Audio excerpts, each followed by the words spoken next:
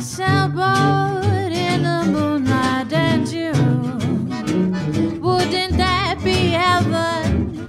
Oh, heaven just for two. A soft breeze on a June night and you. What a perfect setting for letting dreams come true. Okay, I'm filming.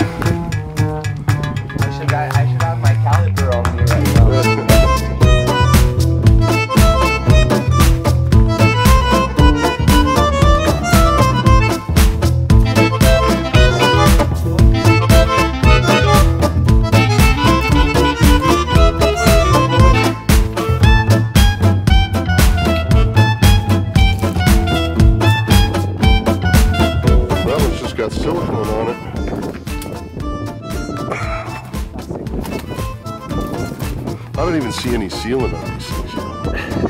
No, they were not holding. Uh, they, they were not holding very, very tight on there. So today I want to talk about through hulls.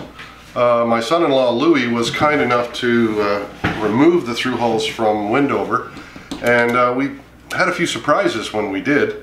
Uh, we found that the boat was probably not really safe. So just for the benefit of all our, our viewers, I want to uh, go through the things we discovered, and maybe you want to look at your own boat and see if you're finding some of these things there.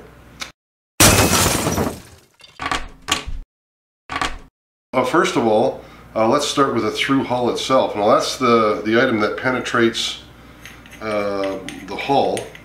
Now the through hull is either in a mushroom or a flat form.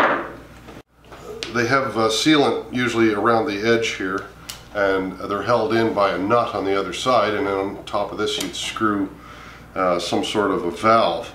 Now, that's kind of the old school way of doing things or let's say the inexpensive way of doing things. And a lot of boat builders back in the 70s and 80s, this is how they were doing it. Uh, although they had other products available to them, this is what they put in. Um, you tend to have this long shaft sticking out into the boat, and then on top of that, you're going to put a long valve. Now suddenly you got all kinds of leverage opportunities against the hull, and this thin little bit of bronze here, it's going to crack. So if you ever drop anything heavy on your hull, uh, or on your through hull rather, uh, you can break it off very easily and then you've got a flood. So that was one issue. Above the through hull, uh, as we go into the boat, they used backing plates that were made out of wood. And essentially they were plywood um, uh, pieces that were just drilled out. And, um, the, the plywood had delaminated on a lot of mine, so they all came, you know, they were quite inflexible.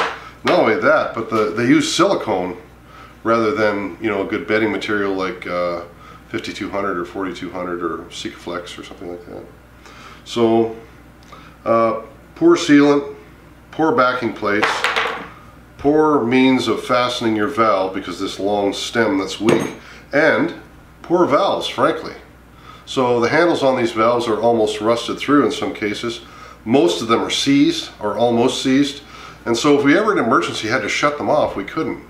And then to make matters worse, on the very top of those, they used on every single fitting a plastic barb for putting the hose on. So over time, you know, flexing those barbs, they dry out, um, the barbs will crack. So anyway, it looks like as a cost-saving measure, uh, the boat builder uh, put in kind of second-rate material. Uh, we love our boat, mind you. Don't uh, don't get me wrong. Uh, one other thing too is on our boat we've got a strainer, which is a little screen that stops any you know goodies getting in uh, for the pickup for the engine. And this strainer is kind of a unique little thing. It's got some screws and pins and what have you. And uh, it, it's uh, it's it's pretty good actually the way they've done it. There's only really one fastener on this, and it's a rivet.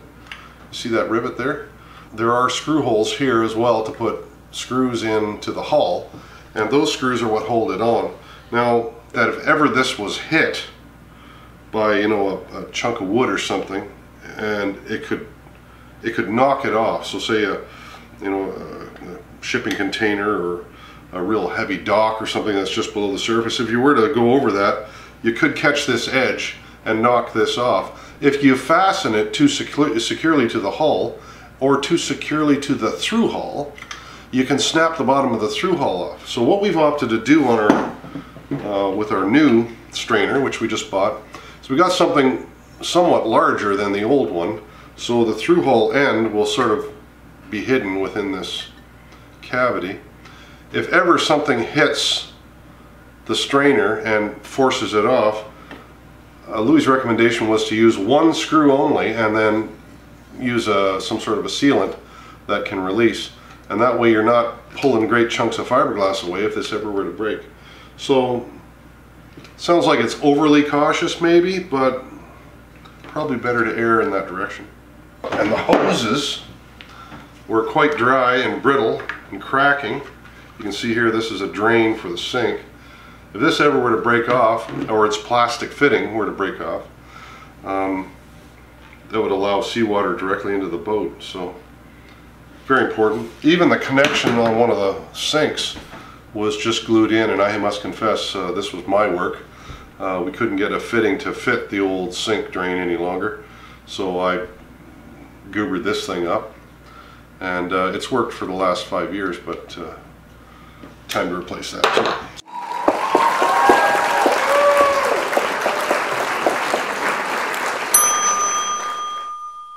What we bought were uh, through hulls that have bases. They spread the load out more, so you're able to fasten them really, really well. The new through hull is not going to have to withstand the impact all on its own. The through hull is just used as a, you know, a, a conduit for the water.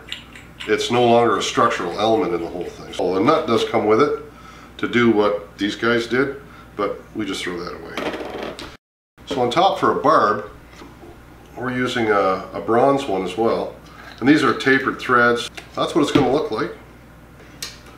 Kind of an expensive thing to do. Like just what you see here was over a thousand dollars. We say we're worth it and uh, we think it'd be a good idea if you're crawling around in the bilges of your boat, have a look, see what's there and uh, maybe you want to think about changing over too.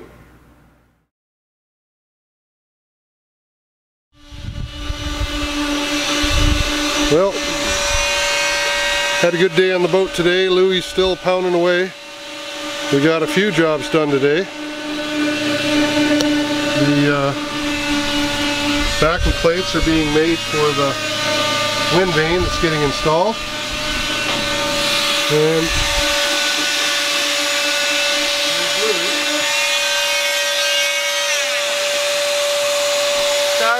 hard at work.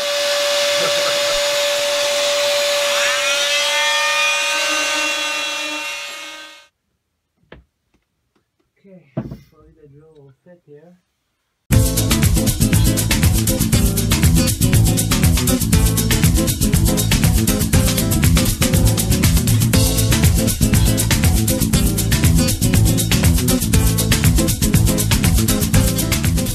Okay, Louis, why don't you explain what you're doing?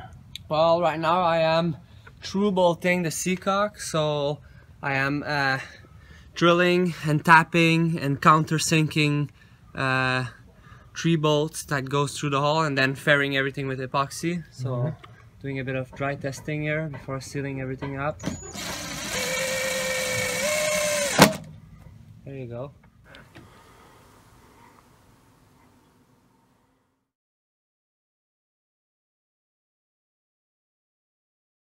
I bought some hose that is actually its purpose is for wet exhaust, uh, but it's got uh, really good neoprene innards in it, and it's made to uh, withstand a, a tremendous amount of pressure for the safety of you know those inside a vessel, and um, because of that, that's the kind of pipe that we want to use on our sinks. So for the drains, we're going to use the wet exhaust.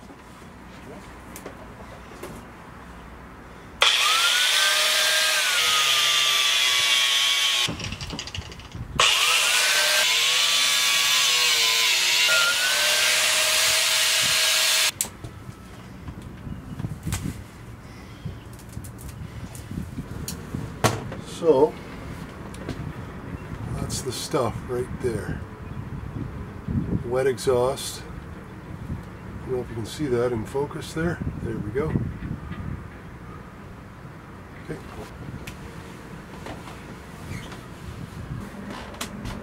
Each hose on your boat should have two clamps on it. And the reason being, if one of them were to corrode, the other one's going to keep the hose on the through hull. So I'm using stainless steel clamps. Buy yourself one of these drivers. Uh, makes life so much easier if you're using a slot screwdriver like that. Uh, you're always fumbling looking for the end, but in this case, you don't need that. Now, I'll need two more for the top. So, we'll get those ready. When you're putting the clamps on, one thing to keep in mind is that the the clamps uh, have kind of a little gap usually here. After you've tightened this up you have a little gap there. So it's good if you've got if you're clamping two on one fitting to put one this way. And of course you'll want the fitting facing the same direction and put the other one on this way. And that way the little areas where you don't get the best pressure will be opposite one another let's put these on too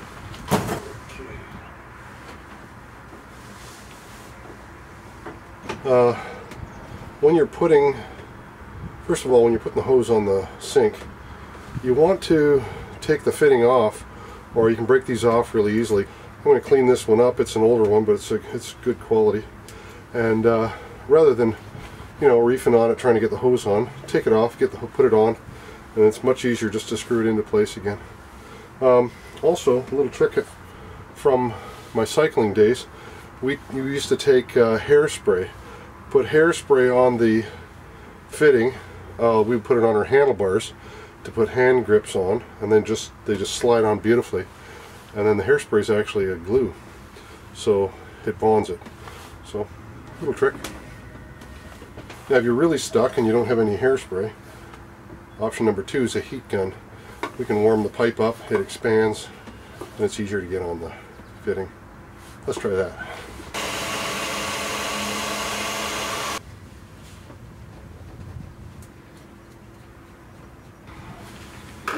two of them. Put my fitting back in.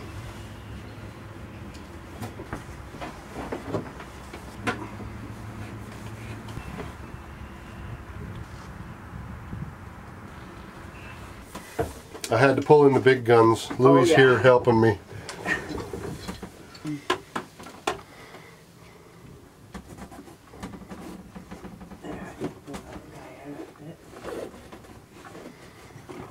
You want to heat it up? No, it's fine. I'm just gonna try to get that water out of there, please.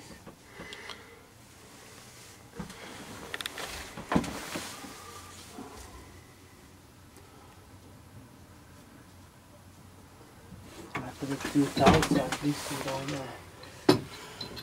It might be coming from your O's now that you opened it too, huh? Oh yeah, of course. Yes, yes. That's exactly where it's I coming from. A few more, but I think it, it is just coming from the O's. Yeah. Yeah. If you put those O's clamp back on, should be fine. I'll leave you with that just in case, anyway. Okay. Cool. Yeah, should be good. Okay.